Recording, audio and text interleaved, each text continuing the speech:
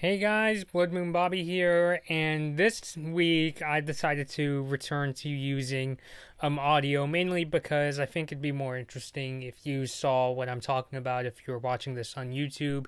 If you're checking me out on SoundCloud, well, you know, I guess it doesn't really make a difference. But for this week, um and I think going forward, I'm going to stick to being audio only except for trailer reactions since I've liked this format. And like I said, if you're watching me on YouTube, you get to see the image of what I'm talking about. And unfortunately, today is a pretty sad topic.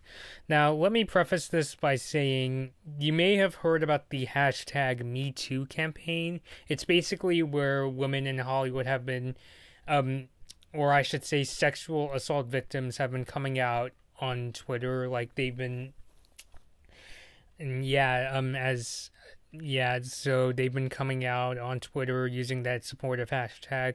Me personally, I know some people are gonna say, "Oh, it's just an opportunity for women to get back at their male CEOs and suits," but te- but technically speaking, I'm supportive of hashtag me too. I think it's a it's an opportunity for women to come out. I know coming out and saying that you've been uh, sexually abused is a very very difficult thing. I totally understand that. So i am glad to see um this movement going on twitter to give um these people confidence if you know this bunch of people are totally comfortable with coming out they can too. So that's what I wanted to give. Um, that's my little sum up of hashtag me too. So what does hashtag me too have to do with the Loud House? Um, in case you haven't heard, um, which is hard to believe because this is one of the big stories going around the cartoon news world, and that is the Loud House creator, and this is really shocking to me, Chris Savino has been accused of sexual harassment. Um, so he's been accused of of um, harassing about a dozen or so women, and he's even been accused of threatening to blacklist female colleagues that are no longer in consensual relationships with him. In fact, one of the um, women that came out was Anne Walker Farrell, a director on the Netflix animated series Bojack Horseman, and she tweeted her support for Savino's suspension and was the first to go public with her allegations. And these allegations go back, like in the case of Farrell, oh, Savino had sexually harassed her 15 years ago, and of course, she used the hashtag MeToo when she came out on Twitter. Um, Nickelodeon gave a statement to the Hollywood Reporter saying, and I quote, Chris Savino is no longer working with Nickelodeon. We take allegations of misconduct very seriously, and we are committed to fostering a safe and professional workplace environment environment that is free of harassment or other kinds of inappropriate conduct. So, if you guys have been wondering why it's taking me a while to jump on the story. Well, part of it is because I can only work on episodes during the weekends, but it's also because I first heard about this story on Cartoon Brew, which I think is a reliable source, but I've heard um some on Twitter say they aren't. And while I still trust Cartoon Brew, I want to see more established sources um release news sources stories on Chris Savino. And to be fair, the more sources that come out to support something, the better. So that's why I started seeing Variety and then, and of course, The Hollywood Reporter, which is a more credible source. So, what do I personally think? Well, if you heard my um, intro at the beginning of me saying I support the hashtag MeToo campaign, that should give you an idea on my position of this in the case of Chris Savino, um, like I said, anytime you know a story like this comes out, it's always really shocking. And unfortunately, um, in the case of sexual assault, I mean, the scary for me, the scary part about it is it's not always the strange-looking guy tugging at his crotch, you know, who is you know, incredibly sex obsessed in public, because you know, there are people out there that can be real like snakes in the grass about things like this. You know, people that just can't control their urges, and which leads many of them to be incredibly aggressive and just nasty pieces of shit. I mean, if you look at, like, for instance, if you look at something like the Jared Fogle situation, although in that case it was child pornography, you know, he pleaded guilty to, to um, to fil- filming and possessing child pornography. You would never, like, you know, I just can't word it in another way. You can't. You would just. You wouldn't just look at this guy and think, "Oh, uh, uh, uh, predator, predator! Watch out! Watch out! Watch out! Watch out!" You know. So it's not too far fetched to believe that you know Chris Savino, in his case, you know, sexually harass this um dozen amount of people.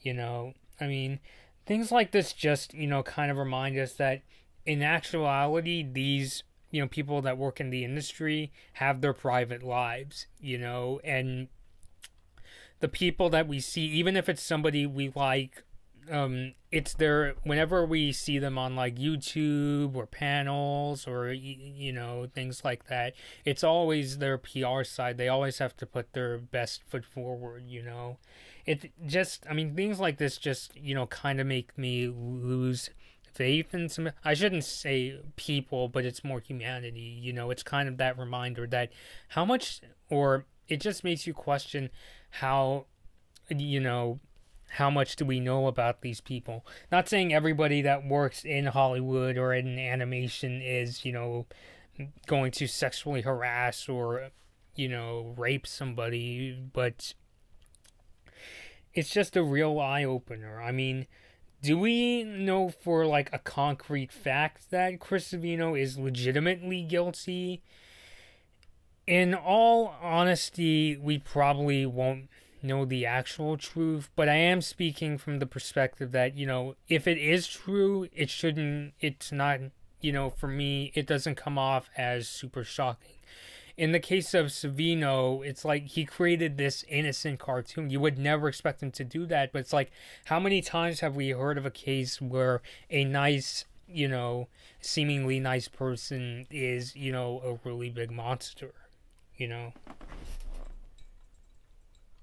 But um just yeah, as for the Loud House themselves, it's I think it's fair to assume Nickelodeon is going to go down the route of Clarence when its creator, um, Clarence on Cartoon Network, its creator Skyler Page was accused of sexual harassment, where he got fired, but the show kept going. Um, so it's especially because like Clarence was, I think it was just okay ratings wise. The Loud House is Nickelodeon's second, you know, most popular show. So you know, obviously they're going to want to keep supporting it. And look, when Nickelodeon does this kind of thing, and like this is a kind of thing with any corporation, when they come out with their um own with their franchises, yes, you know, there's a creator behind that, but once, you know, the company releases it, it becomes their property. You know, that's why when you look at something like Konami, they're able they're still able to make Metal Gear games because, you know, Kojima, Hideo Kojima doesn't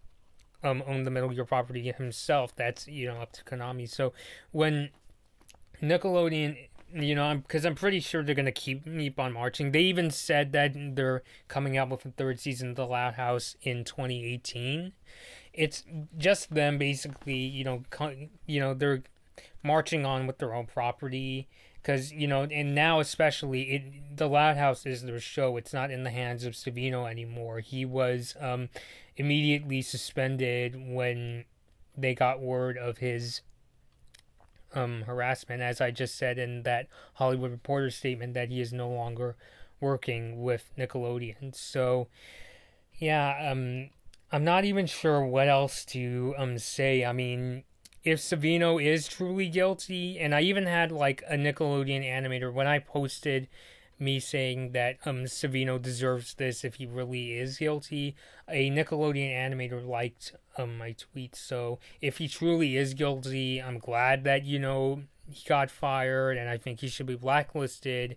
If nothing else, the next thing I want to see is a court case because, is you know when when you send you know guys like these to court and especially if they plead guilty that's kind of you know a really big sign that they're admitting to um what they did so yeah so that's basically um all i have to say um just I mean, the most visceral thing I could say about this is how shocked I am.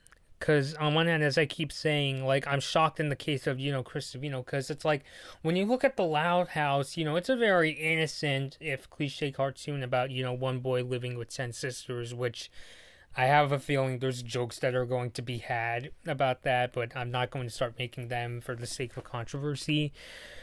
But, um, just yeah, very very shocked. If he truly is guilty, he deserves to be um blacklisted. And you know, if any of these women are you know gonna go after him legally, and especially if he pleads guilty, then yeah, he deserves it. So that's all I have to say on this. I wished I had more to say. I think as of right now, I'm just in complete shock. So um, yeah. So, Chris Savino, if you really did this, um yep, this you had this day coming. That's all I can say. So, yeah. So, All right, guys. So um, please like or dislike this video. Um, and please subscribe to Blood Moon Bobby. And thanks for watching or listening.